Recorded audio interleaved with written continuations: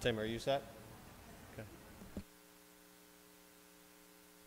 My name is Jerry Buckley. I'm the Director of School Counseling here at Bishop Kenny. We'd like to welcome our families from the class of 2023 to our Planning for College program.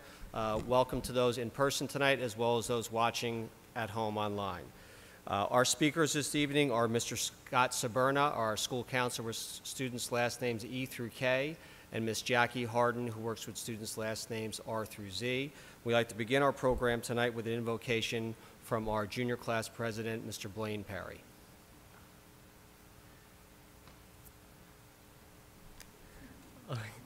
If y'all would like to join me in the name of the Father, Son, Holy Spirit.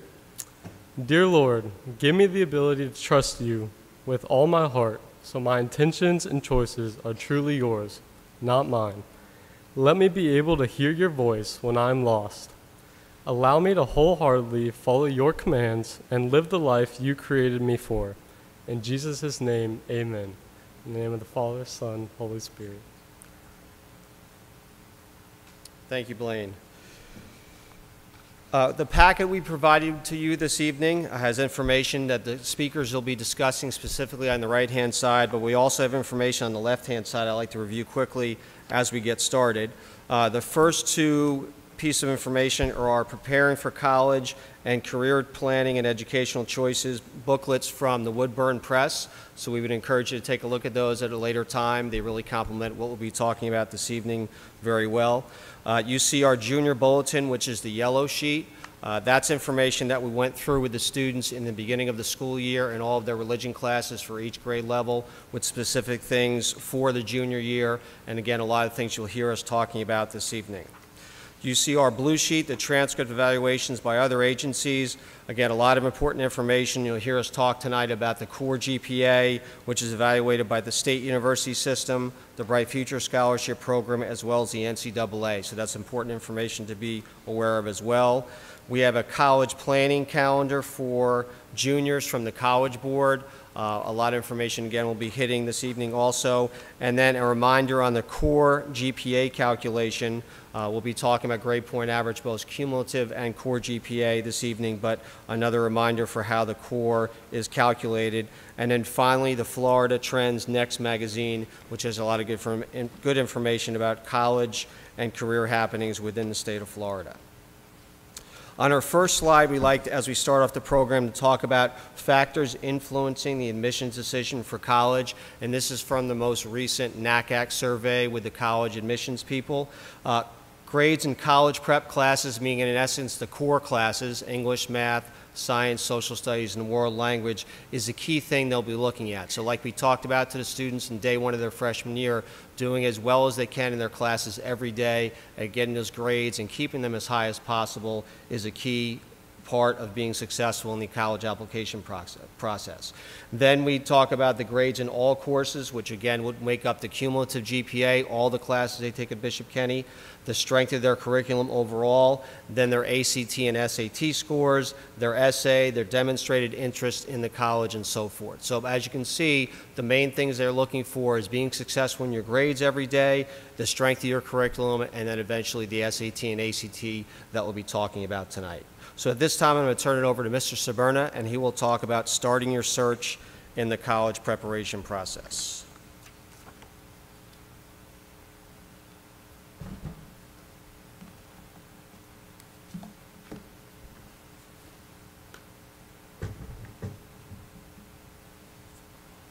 Right, good evening, class of 2023. It's good to see you here tonight. Um,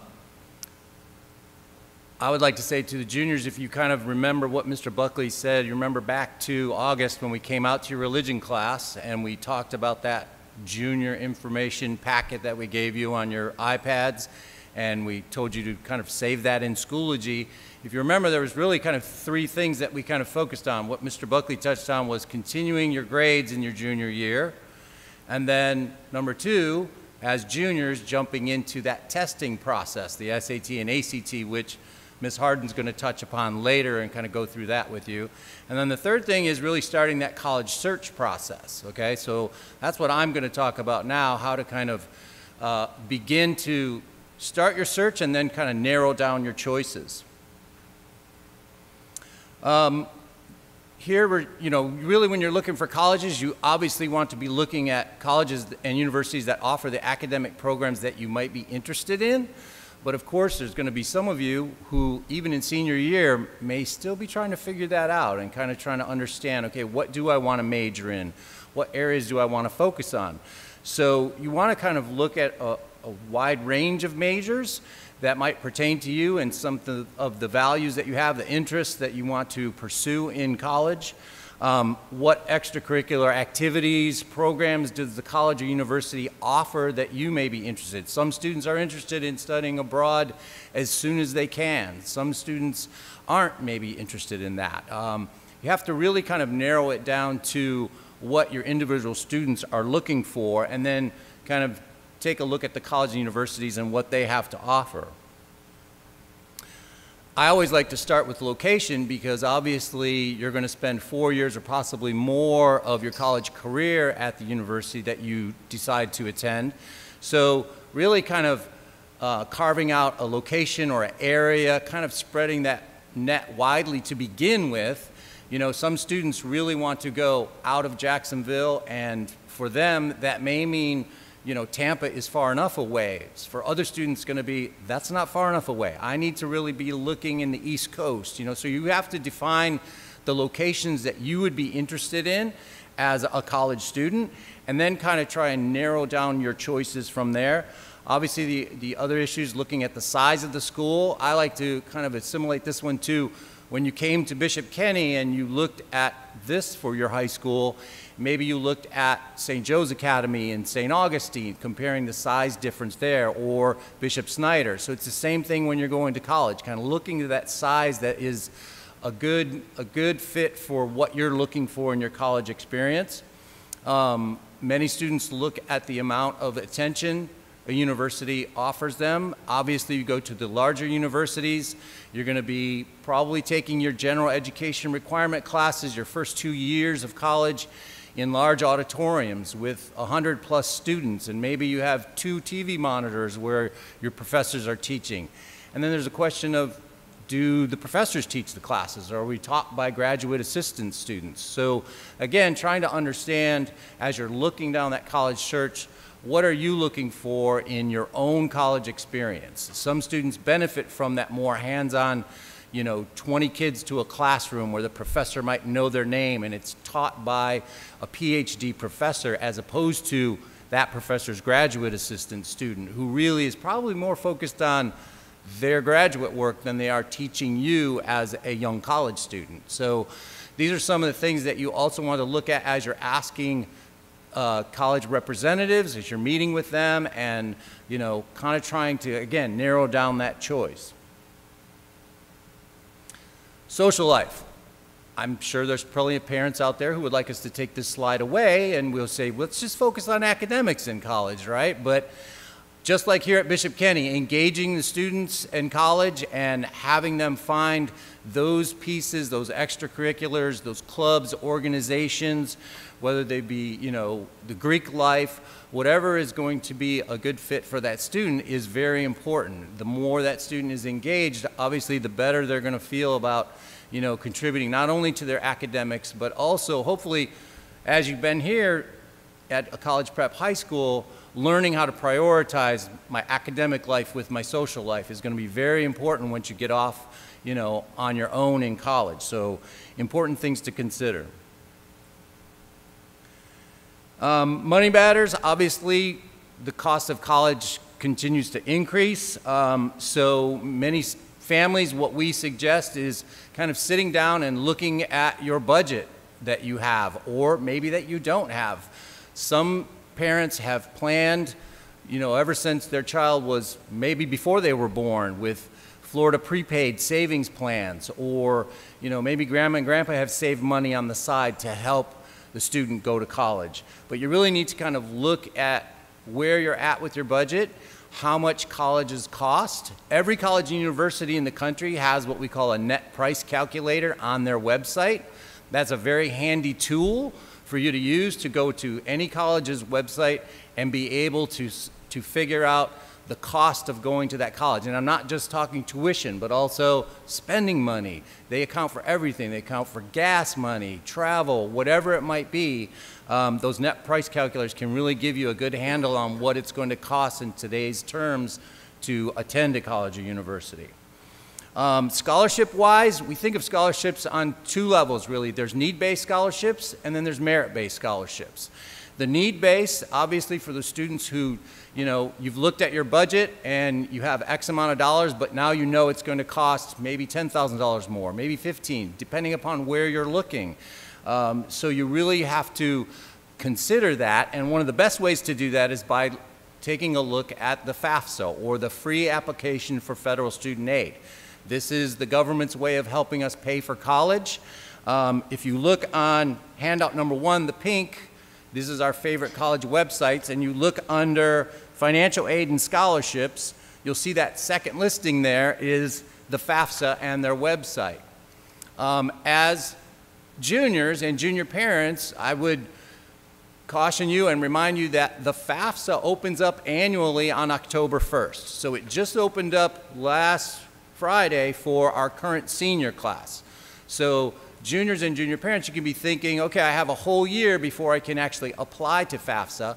However, what you can do between now and then is go to the FAFSA website, and if you want to write down next to that FAFSA.ed.gov, when you go to that home page and you scroll down in the center, you'll see an estimator button.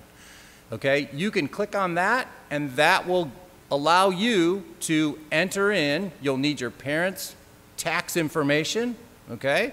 and you're going to enter in assets, bank accounts. They're going to ask you lots of questions, and obviously, the better you give that information for what you have, the better you're going to get an estimate of what FAFSA might be able to help you pay for college with. Okay? So that's a good way to, to get started in that process and kind of understand what can FAFSA do for you as a student and you as a family. Okay? Um, if you're looking at the other types of scholarships, we're talking merit-based scholarships. Those are going to be based off of students' grades and test scores. Bright Futures is obviously the most common one that we think of in the state of Florida, but all universities have endowments. They have um, a financial aid link on their web pages that you can be going to, and you can look at the different merit-based scholarships what kind of grades they're looking for, what test scores, if there are any other requirements. And for students who are doing a good job, we're usually talking a core GPA. So the core classes, again, being English, math, science, history, foreign languages, around a 3.5, but sometime even dropping down to a 3.0. There's oftentimes merit scholarships that will be offered to a student when they apply to that university. Oftentimes that's nothing extra that you need to do. You don't have to do an extra application. It's just because you have good test grades, good scores, the university is going to offer you X amount of dollars. And obviously as the GPA and test scores go up, they're going to offer more money. So that's merit-based scholarships. As you're doing your search, um, the, the more you're finding a good fit with your school, and this, is, this oftentimes comes from speaking with the college representatives, they become very interested in certain students because they see that student as being a good fit for their university, their college, what they have to offer. So as you're doing that, oftentimes they can work with you more closely on finding a way to help pay for those college expenses, okay? Um, other ways to search would be uh, using your Naviance account, juniors. How many juniors have a Naviance account? All of you have a Naviance account, okay? So, juniors, if you don't know what I'm talking about, what you can do is you can Schoology message your counselor. We will send you a reset to your Bishop Kenny email, and you'll be able to then have a link to the login page for Naviance. What is Naviance? It's basically a college and career database, but we also keep in there under colleges, there's a scholarships and money section. If we learn about a scholarship, we're going to post it in Naviance for all students to see because every student has a Naviance account. So that's a wonderful place to be looking at what is quite a long list of scholarships that would be available to students to apply to, okay? Um, Other things you could be doing, again, on the favorite college websites, there uh, are several scholarship websites. If you look at the bottom, the one, there's a, a website called Going Merry. This is basically like Google for scholarships. So you can go to Going Merry, and it's a search engine. You put in your criteria, and it will go out and find different scholarships that you could apply to. Okay? We also have on the back of the sheet all of the state universities, all 12 of them, their websites, along with the private schools in the state of Florida. So this is a very handy um, uh, piece of paper that you can use to be, to be utilizing. Going back to FAFSA real quick, um, if you look at handout number two, one of the things I would suggest doing between now and next year when you could apply for FAFSA is really looking over the terms that go along with financial aid and scholarships. This sheet is very handy to help define some of those terms. And then, maybe more importantly, looking at the myths that are out there regarding FAFSA and scholarships on the back of that sheet. We hear oftentimes from students like, oh, well, my parents said we're not going to do FAFSA because we make too much money or we don't think we'll qualify. But really, any financial aid office at any college university is going to encourage you. Do that FAFSA as soon as you can after October 1st and they will tell you they will come back and tell you what they're able to help you with. You do not have to take the money you can take some of the money you can take all of it and again you, don't, you can take none of the money but it's always a good idea to see and the sooner you apply you have to think of it as a big pot of money that's out there. When that application opens up on October 1st of your senior year, the students who apply first and their families, they're going to have a better opportunity to get a bigger piece of that pie. So doing FAFSA is very important when it comes to money matters and figuring out how to pay for college because, again, it's very expensive. Other ways of doing college research. In our office, we have what seems like an endless supply of pamphlets, folders, paperwork that all the college and universities send to us or drop off to us. So there's always hard copy things you can be looking at and using. Students, again, your Naviance account, you can sit with your parents and be doing college searches. You can do career searches. You can start to keep a list of schools that you might be thinking about. You can find websites, virtual tours, um, what's nice about Naviance is if you do a search for a particular school, it's going to pull up a page that is kind of like a snapshot of that university. What, what kind of admissions criteria do they have? How many students attend? How much is the cost? What kind of academic programs? Uh, it's really nice because it, it puts it mostly on one page if you go to a university's website, it's going to take you a while to navigate that because they're all different. They're not all set up the same. You're going to have to find those academic programs. That's always going to be the best place to go, but it does take a little bit longer than going to Naviance and kind of looking at a snapshot and then kind of saying, oh, yeah, this might be a college I'm interested. Let me favorite that. Or in Naviance, what it'll be is it'll be a little heart, and you tap on that heart, and it's going to keep that school in your list of schools that you're thinking about. Okay? Again, you can do scholarship searches in Naviance. Again, career webs, career searches, college majors. Um, different college websites, of course. So, you know, again, looking specifically at a school's website is going to be the most up-to-date information on the academic programs. Again, finding that nice net price calculator and being able to help you kind of determine what you need to do. Utilizing your connections, people that you know, family, friends, relatives who have gone to school recently or, you know, um, maybe students who just graduated, but kind of talking to other people about what schools they're looking at is good. You always want to remember, though, that college fit, that college experience is unique to you as a student. So you have to be looking for what you're interested in in college, okay? Uh, another good way is doing virtual tours or attending virtual college fairs.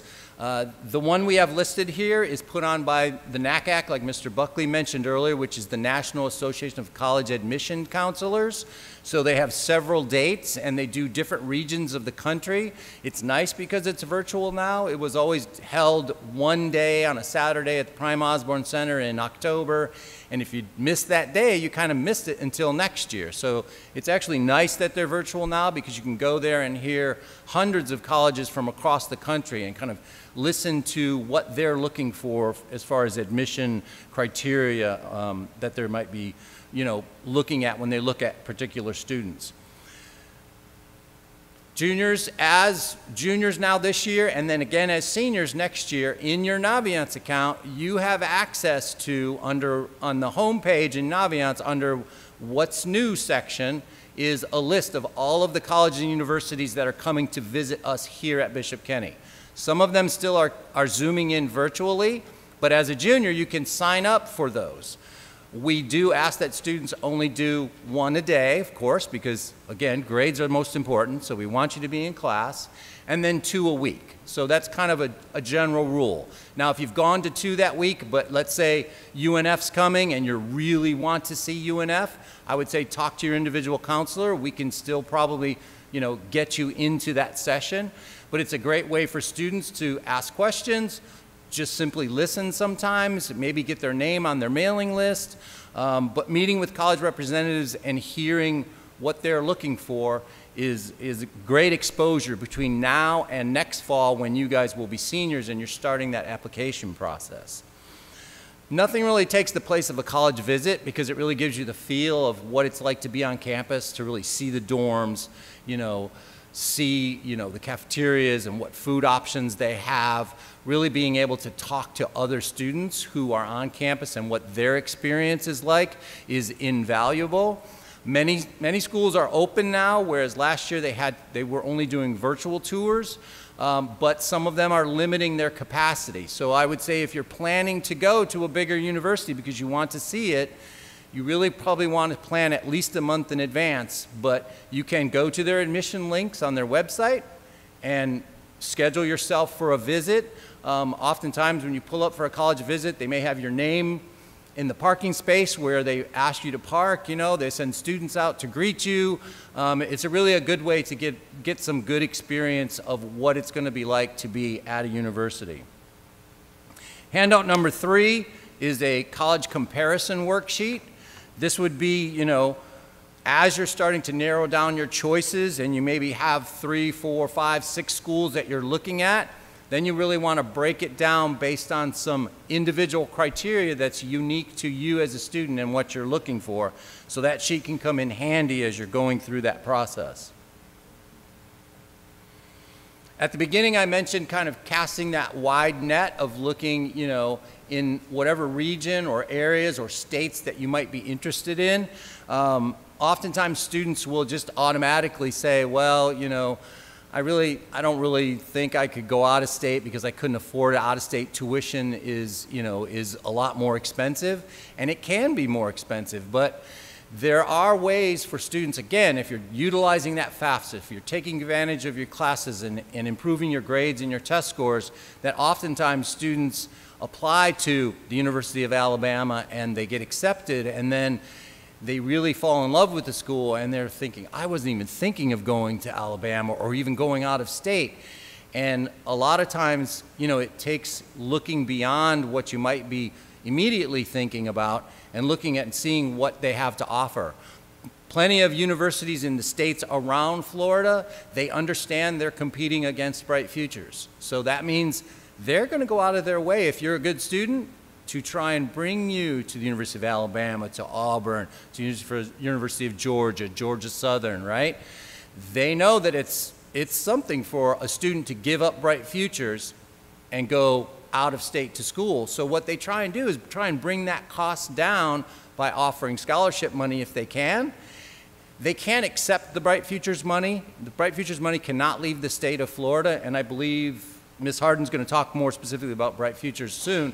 But a university like that's in Georgia can say to you, Well, we'll compensate you. You are going to get X amount of dollars for Bright Futures, so we can give, we can give you this scholarship to help bring that cost down to what you, it would cost you to go to Florida State, for example, or UNF. Okay, so never rule out anything. If you want to, if you know, if you're thinking about another uh, school that's out of state, keep looking at it. Keep talking to the representatives. See what they can do for you and do it early. That's going to help you the most. Um, community and state colleges. This is a great way for students, you know, of all ranges, all GPAs, all test scores. Oftentimes, going to that state or community college is just the best next step for a student to continue in higher education, right? Could be financial reasons, could be you're not ready to leave home yet. Could be you want to stay at home, get a part-time job, take classes, you know, at FSCJ, for example, or for many students, you know, getting into the University of Florida, getting into the univers- to Florida State University, their admission criteria is pretty high now, right? So for students coming right out of high school, oftentimes, if you don't have that 3.5 and, you know, maybe a 1300 on your SAT or a 29 on your ACT, it may be questionable whether or not you can get into Florida State or the University of Florida. So oftentimes students will opt to say, well, I'm going to go to Santa Fe or I'm going to go to TCC. I'm going to find that pathway that eventually leads me to that Florida State diploma or that Gator diploma, whatever it is that you're interested in. So there's plenty of different options that are out there. Honors programs are a great, a great way for students to set themselves apart now in college, especially if you're looking to go on to graduate school. So um, almost all universities have an honors program now. Sometimes there's different admission criteria. Sometimes universities will offer you admission to the, to the honors program if you have, you know, the grades and test scores that they're looking for. So I would encourage you to look at those as well and really, you know, finding what works for individual students. We always say that it's not so much where you go to college, it's what you do with it, right? So if you start at FSCJ and you're working hard towards that and you got that part-time job, but you just keep at it and you eventually transfer to the University of Florida, nobody's going to know where you started, right? You're going to have that University of Florida diploma on your wall one day. So really kind of trying to make that path work for you is what we encourage. All right, so Ms. Harden's going to jump into standardized testing now, and thank you.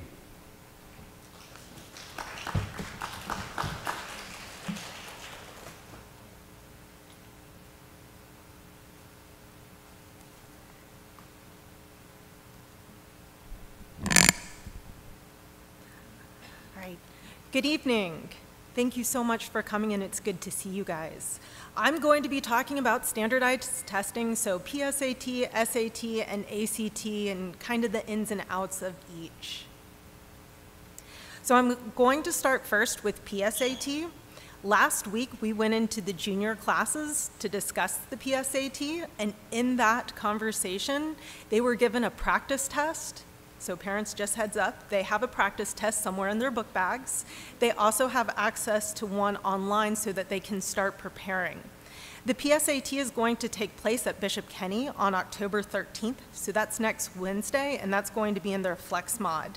Uh, this is basically a practice SAT. It's to give them an idea of where they would score on an actual SAT.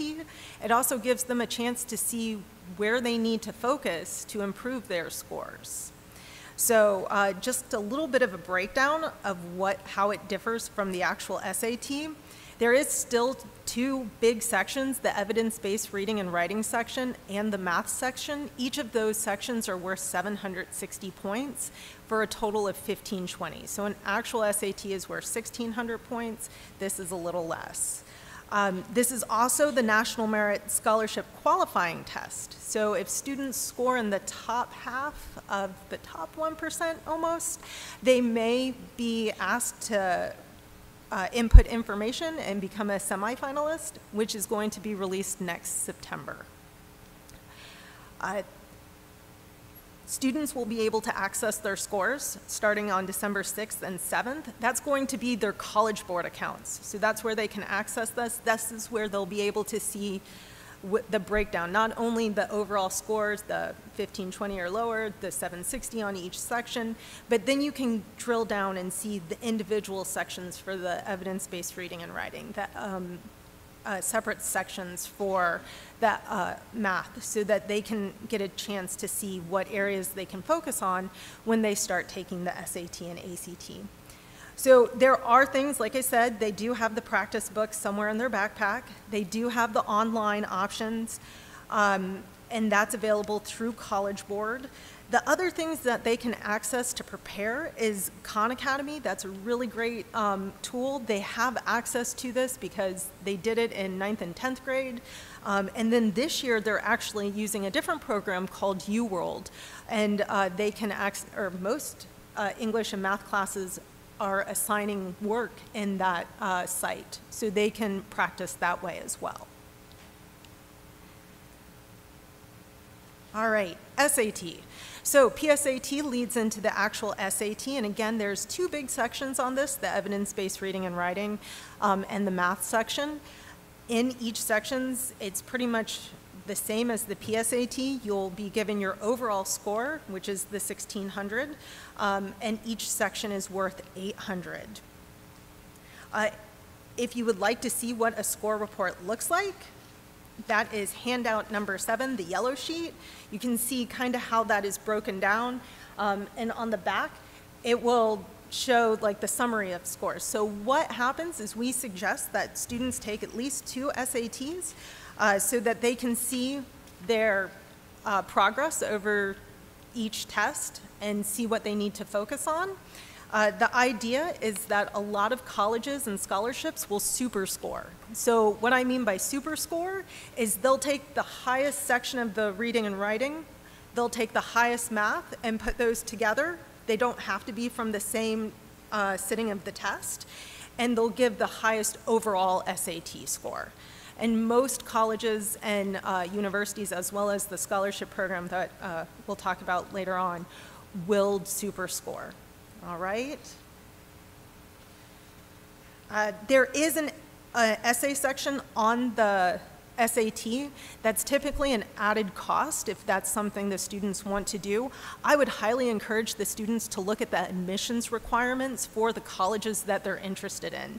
Uh, a couple years ago, the colleges were saying that they wanted students to take the essay, uh, and they're slowly getting away from that. So I would highly recommend that you guys check that out to see if that's something that you guys want to pursue. For the ACT, this is a little different from the SAT, where the SAT was two sections, the ACT is four sections.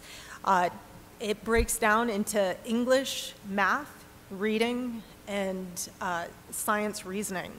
The scoring is different too. So the highest that you can get in each section is a 36. The composite score is an average of those four tests. Uh, I would highly recommend the students take two ACTs, so two SATs and two ACTs. These are two completely different tests. And some students find that they do really well on the SAT um, and not so great on the ACT. And some students find they really gravitate towards the ACT um, and kind of leave the SAT behind. So I would highly suggest taking both of them and then seeing which is the best one that you guys feel um, that you can get the best score overall. Uh, and like I said, the handout for that to see the breakdown of the ACT is on uh, handout number eight. It's the blue one, and it really breaks it down. The other thing that the ACT will do uh, when you go to register is it will ask you a, a lot of questions about careers, interest, grades.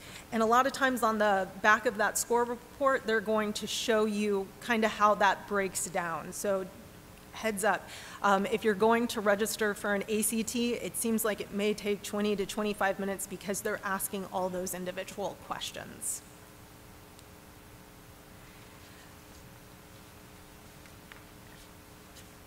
All right, so these next two section or next two handouts I'm looking at are the both pink ones. You've got the concordance scores as well as the national dates. Uh, just heads up with the concordance scores, this is kind of sh to show you how Uh, the ACT and the SAT scores compare to one another, so it shows that how the SAT compares to ACT and how ACT compares to SAT. Uh, This was last published back in 2018, so this is what we have available. There may be some updates um, on different uh, websites, however, we haven't came across those that have been put out by actual SAT or ACT. So, preparing to test, picking your test date. Notice that most of the test dates for SAT and ACT are going to be on Saturday mornings. Uh, most of the time, you're going to want to apply about a month in advance. They do have deadlines. If you don't meet that deadline, it's fine. You can pay an extra $25 to try and get in. Uh, but if, if you're on top of things, you won't have to pay that extra 25. Uh, you will go online and register at either collegeboard.com, which you guys all should have, uh, you all should have uh, registered for that already, uh, with Khan Academy, and then actstudent.org. Uh, Again, that is going to take 20 to 25 minutes. Once you have that login information, you can go and register to test. Um, I would look at the dates carefully. It, you can switch dates if you need to, um, if something comes up, but again, there's an added cost to that. The other thing that the ACT has been doing at some locations is they've offered Sunday testing. Uh, so that may be something, especially if you're cross country or football or in a sport that plays on Friday or Saturday, and you want to um, have that option of a Sunday test. Look, it's they're becoming fewer and fewer as different testing sites um, decide not to do it. But just to give you a heads up, they may have that still available. All right. So, how to prepare? There's the free booklets. They're available at, in the guidance office. I'm sorry, Office of School Counseling. I still get that mixed up. Uh, so they are available. That's the paper packet that has the practice SAT in it or the practice ACT, and it gives you little uh, tips about it. It's something that you can walk in, you can ask the counselors, you can ask Miss Nakashi who sits at the front desk, and we'll just point and say, go ahead and take one. Um, most students walk in and grab it and then walk out. You'll be given your PSAT score report back in January. Um, you'll also get your test book. So you'll be able to go back and see how you answered, what was correct. Uh, if you wrote notes in the test book, you can see whether or not you were on the right path or if you weren't, why may, you may not have gotten that answer correct. So that's another tool to kind of just dive a little deeper and see what it is that you need to focus on. Test prep guides. All right, so this is a fancier word for those big giant books that we used to get in high school. Um, that was huge. Uh, either Princeton Review or Barron. You would find these in the bookstores. You can still find them in the resource or the reference section of the libraries. Uh, if you need something like tangible, a hard copy, those are still available and you can order them through Amazon or, like I said, uh, Barnes & Noble, Books A Million, you can still find those books. Um, they also, most of those companies also offer online um, or software programs where, depending on your student, they can dive deep into it and really truly study, or they can spend five minutes and then walk away um, each day. But they do have those, they do help. It's just the diligence of the student with that. How deep is that student going to dive to prepare for uh, the SAT and the ACT? With test preparation courses, this provides a little more structure. This may provide more one-on-one contact. And so instead of leaving it up to the student to do it on their own, now they have somebody to focus on. Uh, so it's a great option. I know we offer many here on Sundays uh, before test dates, so that might be something students want to look at. Um, when you're choosing, look for programs that are respected. They have, um, they have gone through the training. They know what they're talking about. They can say that I have helped students, all right? Um, it's a lot of times uh, people come across and they're like, I can help you. and they promise these grandiose like scores, and it's just talk. There- There's not, there, it's fluff, it, they don't have it, the scores to back it up. So I would really caution you with that, um, because unfortunately, there are people out there looking to make a quick buck. So you want to make sure it is somebody who is respected or a known uh, uh, organization who has specific programs focused for SAT or ACT. Um, Typically, it's going to be about a 10 to 15 hour program. It's not something that you can cover all the tricks, all the tips, all the ideas for the SAT and ACT in an hour or two. It's something that needs to be practiced, and it should be about 10 to 15 hours. I know students don't want to hear that, but you really get a gist of what's going on and really how um, they score it. And again, if it sounds too good to be true, it probably is. So that's what I tell my students a lot of times, not only with test prep, but also with a lot of the colleges as well. If they're promising you things and it sounds a little too good, it probably is. So, state minimum test scores. This is something that the state of Florida has said these are the minimums for students to get into college. Now, I really uh, caution students when they look at these state minimum test scores. Uh, SAT for reading and math is a 460. For ACT reading, uh, math is 19 and in English is 18. So that may sound a little on the low side, especially if you've started looking at colleges. So this is the very bare minimum. It doesn't mean that colleges have to accept you with this. It just means this is where they start. So if you're looking at a highly competitive school, if you're looking at a Florida, a Florida State, their scores that they're going to start looking at is going to be much higher, okay? What we use the state minimum test scores for really is when you're going into a state college like an FSCJ, a Santa Fe, a Valencia, uh, this is deciding whether or not uh, you guys are going into remedial classes or right into English and math college classes. So a remedial class at a uh, college level is not necessarily a college class. You're paying for it, so money's coming out of pocket, but it doesn't mean you're getting the college credit for that. So you really kind of want to make sure that you have those scores going in so that your advisor at that level is not trying to put you into a remedial course. You're going directly into a college course and you're starting to earn college credit. There's a new uh, word that we've heard over the last couple of years, especially with COVID. We've heard more and more uh, colleges and universities saying they're going test optional, partly because it was hard to find ACT and SAT tests being offered in a lot of places over the last two years. Uh, so, what test optional means is that students don't necessarily have to submit SAT or ACT scores. If they decide to do the test option, optional option, then they're going to put the emphasis on the student's GPA, on the student's uh, rigor of courses, on the essay.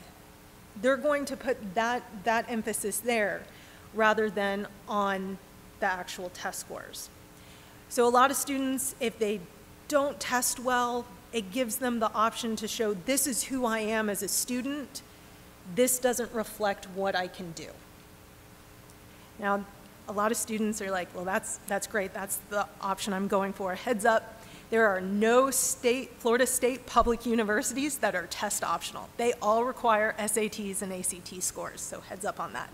Uh, the other thing is, that's not always the best thing. Sometimes students can definitely score in the ranges that those colleges and universities are looking for, and they can get in using that score.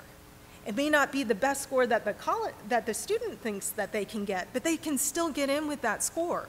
So I always tell my students, look at what they're asking for. If you're meeting that, go ahead and submit your test scores. The other thing that a lot of um, students don't realize that, yes, they might be test optional for admissions, but they may not be test optional for giving out scholarships. So you could be losing money by not submitting your scores.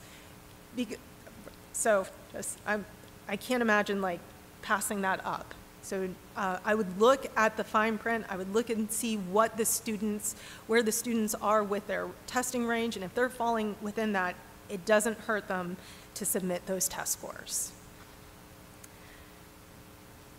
All right, and then looking at page 10, the handout, the green page, Florida Bright Futures. So, as Mr. Saberna referenced this earlier, uh, the state of Florida has a scholarship program that rewards students who have, uh, based off of their merit. So, uh, on page 10, I just want to point your attention to the specific classes that they're using uh, to recalculate these GPAs. Uh, they are looking at the four English classes at the high school level, the four math classes, including Algebra 1 and higher. They're looking at three natural sciences, and they have to have labs with that. All, this, all our science programs here have labs. And then uh, the three specific social studies classes, that's world history, US history, and government and economics and then two consecutive years of foreign language, Spanish 1, Spanish 2, uh, Latin 1, Latin 2. That's what they're looking for. So only 16 classes. Uh, we're going to recalculate that GPA, and if it's at a recalculated 3.5, and then they turn around and score either a 29 on the ACT or a 1330 on the SAT, and they should have 100 hours of community service because it's required for graduation, then they would uh, qualify for the Florida Academic Scholars, or Florida Academic Scholars Scholarship. Uh, for student, or for you guys who went to school uh, 2000 and a little prior, that used to be known as the 100% scholarship, where 100% of the tuition was paid for.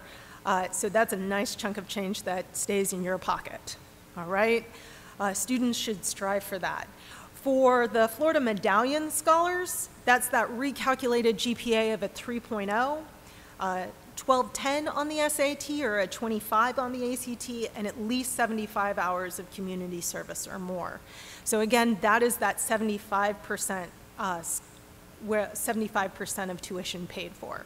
So both of those are really great scholarships. It keeps a lot of students here in the state of Florida. It doesn't leave the state of Florida. Um, at a private institution, while they won't match 75% of a uh, percent tuition of the private school money, they'll give what is the equivalent of 75% of tuition at a public school to a private school student. So it still works out and it's still a great opportunity for students. We will talk to students every year to tell them if they're on track for Florida Bright Futures. Uh, so they should have an idea when we start our junior appointments uh, later on in the school year about where they are and what they may need to do uh, to be eligible for that. All right, so at this point, I'll turn this back over to Mr. Buckley so he can go over the timeline. Thank you, Ms. Harden. Like Ms. Harden said, if you go ahead and take out handout number 11, we're going to look at the timeline for juniors. And this is something we went through with the students in the religion class at the beginning of the year, just a couple highlights we want to hit. Um, right now, obviously, we're in October, so being here tonight or watching online tonight is a great way to kind of get going with the college search process on Monday, October 4th, for our Planning for College program. As Ms. Harden talked about, we're taking the PSAT next Wednesday, October 13th. Note that there is an SAT at Bishop Kenny on Saturday, December 4th. So that's some, a one a lot of times juniors like to hit, so that's definitely something to be aware of. If you flip it over to the back, jumping down to March, we would encourage you to plan out summer activities, whether that's doing uh, a summer job, internship, uh, college visits, uh, doing a summer program on a college campus. That's a great time to start to plan, and never to, never hurts to get it going early as well. And then during this, the uh, month of March as well, we will select courses for the senior year. So that's definitely a key thing. Um, as we've talked about, a lot of times when the colleges are looking at your applications in your senior year and your transcript, they're really looking at your first three years of grades, but they're also certainly looking at the strength of your courses. So taking the old days, you know, which is a long time ago now when you could say, well, I could just take easy classes my senior year. That's been gone for a long time. You really need to have a healthy schedule because they will look at the strength of your schedule. And there are some colleges that will come back and actually look at your grades from senior year. So it's important to make sure you have a good, healthy schedule as a senior. And then in April, we talk about making college visits, and Mr. Saberna talked about that. And we always would encourage you as much as possible to get onto the college campus. Just like here at Bishop Kenny, if you came to visit on a Sunday, you would know we have a beautiful campus, but without the students here, you really can't get the, the exact experience of the school itself. And that's the same thing with the colleges. So we would encourage you to try to get, to get there as best you can when the college students are there to get a real, true feel for what the campus looks like. So we've talked about, uh, we've taken you through the junior year. We talked about grades, the search process, uh, and standardized testing. We want to talk now about, uh, get a snapshot of the senior year, what you'd be looking forward to really about a year from now, getting all the college applications together. So we would- encourage our students to have um, at least three schools they look at. One um, being what you would consider possibly a stretch school, as in a school that uh, maybe um, is just very, very difficult to get into. You know, for example, like a Yale University, they'll say, you know, they routinely reject valedictorians um, because it just, again, how many students apply to their school. They may take number two from your class and not number one, but it's just that super competitive at those upper level schools. So, but we also would encourage you to apply to those schools. You know, you never know what they're looking for. If you put together a great application prac- uh, package between your transcript, your essays, your recommendations that we'll talk about. We always encourage you to shoot for your dreams, but also make sure you have backup plans as you go through. So you've got stretch schools, you've got good fits, where if you look at their, okay, this is what their average GPA and test scores that they're looking for. I think I meet or am very close to what they're looking for. We obviously want to apply to those schools as well, and then have at least one safe school where you know you exceed what they're looking for, and you feel even if I don't get into that stretch or even that good fit, I do have some backups to fall upon. Um, certainly, you can apply to more than one in each category, but you don't want to just apply to six uh, stretch schools where you're not really sure if I'm going to get into any of those. You want to have a good balance and a backup plan regardless of how you go through. As far as admissions policies, if you take out handout number 12, we'll take a look at those. Uh, some terms to be aware of as you go through the process. There can be what we call early action, and that's where you apply early to the school, uh, and they will give you a decision earlier than the regular applicant pool. That is typically not a binding contract, meaning you can apply early action to multiple schools. The next term, early decision, is what they call a binding contract, meaning that you can only apply early decision to one college. And you're basically saying to that school, if you accept me, I'm definitely coming to your college. And you actually sign a form that your parents sign as well as your school counselor. Uh, there are no schools in Florida in the state university system that have an early decision. A school like University of Miami will have it, and different smaller private schools. But there are also plenty of schools outside of the state that do have the early decision process. Early decision can mean different things at different colleges as well. So at some schools, it may be easier to get in if you go through early decision, and some schools it may be a little more difficult. So you really want to research that, and that's another great time to talk to your school counselor and have a good feel for what that school in particular is looking for as far as early decision.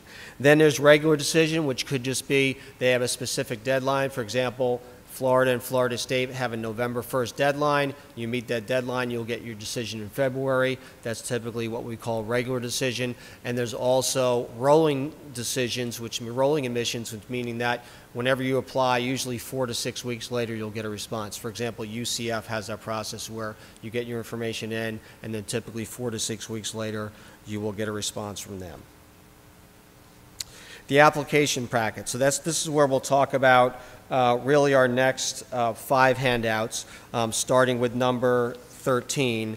Uh, holistic admissions is something that's really become popular over the last 10, 15 years, meaning that they're going to be looking at things outside of your grades and test scores. So putting your best foot forward with your essay, your recommendations, all those different things will be key. Certainly, your transcript will be the most important thing they look at, but they'll also want to see how you made Bishop Kenny a better place and how you're going to make their school community a better place. So, for example, handout number 13, we'll talk about the essay. Uh, again, we always encourage you, especially if you feel like you're borderline for a college, if they make an essay available, you definitely want to do that and, and follow through it and do a great job with it. Your school counselor can review it with you. Your junior English teacher, a lot of times, will assign that or at least give you some feedback on it. And the ultimate thing with the essay is that they want to find out more about you as a student. Yes, they want to see how you write and all those different things, but you want to bring out something that maybe they can't tell just from your transcript and your test score. So the essay can be a key, key component to the process. Uh, handout number 14 is a sample resume. There's a front and a back to that, just two different samples there. One is by type of activity on, on the back side, it's by grade level. Again, you want to show them how you've made Bishop Kenny a better place and how you make their college campus a better place. So the things you've been involved in from ninth grade, like we talked to, to you about getting involved, maybe by the time you're junior or even a senior, getting involved in leadership activities as well, showing your leadership on campus, and again, how you can make that college a better place. And then the next two handouts, 15 and 16, are examples of our um, counselor and teacher recommendation request forms. So again, there may be some schools that require recommendations. Typically, if they do, they'll require two from teachers and one from your school counselor. So this, this will be the paperwork that you turn into your school counselor and your teachers at that time when they're looking for the recommendations. Um, a lot of your teachers in the junior year will say, if you want me to write a college recommendation next year for your senior year, give it to me in the spring or at least before you leave school as a junior, and then they'll work on it over the summer. So again, this is a great way to get that started. Um, and we'll talk about next year. If they don't require recommendations, then you don't want to submit them to because again, you want to be respectful what their process is. For example, the state universities don't use recommendations in their process. So Florida State says every year, absolutely do not send them to us because we're not reading them, and you're kind of showing them you really haven't done your research as far as that school. On the other hand, certainly there's schools that do require them, and they're very important, so you want to do a great job as far as your research, as far as that goes. Handout number 17 is an example of our school transcript. So you'll see how this is listed as far as grades throughout your four years of high school, or at least your three years plus your senior year schedule. You'll see the grades. You'll see the current schedule for the senior year. Down the bottom, you'll see the cumulative GPA, which includes all classes throughout high school. Uh, then you'll see the class rank, overall 30, uh, total service hours, and then eventually, when you do graduate, when your final transcript is sent to the college, they will see that as well. Um, now, we'll talk about in a few moments about the transcript because, uh, in again, probably eight years ago, every school required a transcript. That has changed a little bit, and we'll talk about that in a few moments also. All right, so again, timeline for seniors. Uh, so this this is this year's timeline. Obviously, next year's will be little, will be updated based on the dates for the class of 2023. But you can see there's a number of different things we have highlighted on there. Whether it be we have a similar program to this in early September next year. Again, it'll be more enhanced information as far as the actual application process, but we would strongly encourage you to come to that. We also, that when, when we combine that with the activities office, so we also talk about graduation, grad, grad bash, the prom, and all that different stuff as well. Um, one of the check marks talks about registering with the NCAA clearinghouse. So you want to do that at some point in the summer of your junior year, or excuse me, your summer before your senior year to get registered with the NCAA, and that's if you're looking to play college sports on the Division One or Division Two level, whether that's scholarship or walk on. And again, like I said, you can take a look at that later on and kind of see the different highlights for the senior year and things you can be looking forward to there. Uh, Mr. Saberna talked a lot about Naviance. Uh, you can access, access that website through the Bishop Kenny website. If you go onto the academics page and then under school counseling, you'll see a link for it there. Again, every student has had a um, user ID for that since their freshman year. You can use it right now to sign up for college visits. Uh, you can also do career interest inventories on that, as well as eventually when you're sending your transcripts to college as a senior, you'll be communicating with your counselor through that. So that's definitely a key thing you want to be aware of, and obviously, mom and dad, you can take a look at that account with them as well. Know that the Common App um, will be a key part of your process potentially next year. Uh, it's there are over, as it says, over 500 different colleges and universities that are available to apply to on there, mostly private, but there are some public schools on there right now, including Florida, Florida State, UCF, and UNF. So again, it's putting your demographic information into the college app, into the Common App one time, and it kind of it kind of narrows down the work you have to do. Now, we also would strongly encourage you to do research on the college's website specifically what they're looking for, because a lot of times they will require supplemental information as opposed to just the basics on the Common App. But that's something to be aware of. You can take a look at that now, and when you have your list of schools you'll be applying to as you enter your senior year, you can get a good idea about what their options are on there as well. Self-reported student academic record. So that is, like I mentioned, uh, in the old days, we would send transcripts to every college. Now, the state universities and some of the other schools are starting to branch into this as well, meaning that we will give the student an unofficial copy of their transcript with all their grades on it, and they will actually hand enter their grades as part of their application.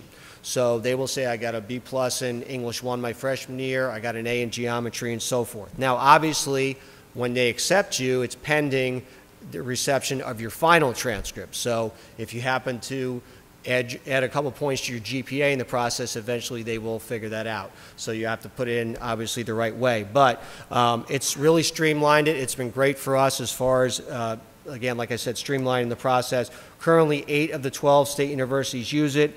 Florida Gulf Coast, FIU, and USF do not, and then UCF does not, but they, they use something called Spark, which is very similar. So again, just something to know about as you're getting ready for the process next year in your senior year.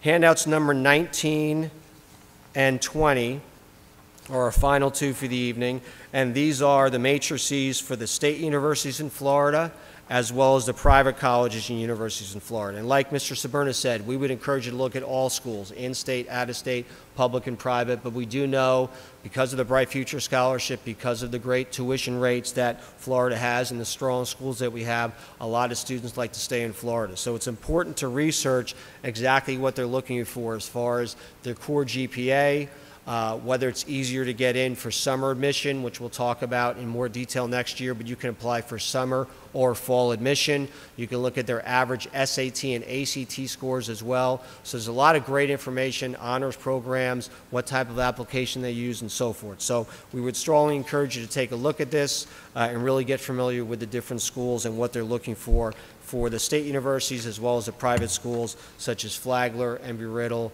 and so forth. Uh, the college readiness appointments for, for juniors will begin in late November. Um, anytime you have questions, we always encourage the students, they can always message us. They can always come in and sign up for an appointment as well. Uh, I know I was supposed to uh, make a plug for our school play, which is coming up. So I'm going to do that right now. That's the Addams Family. Let's see if I got it here. So Mrs. Wilkes asked me to promote. So uh, October 15th and 16th, so on Friday night the 15th at 7 o'clock at night.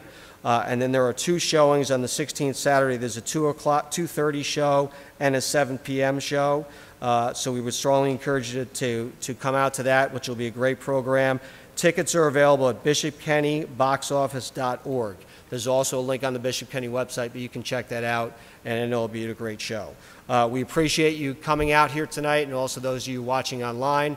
Uh, our counselors will be available, available for questions afterwards if you have anything specific, and we look forward to having a great school year. Thank you very much.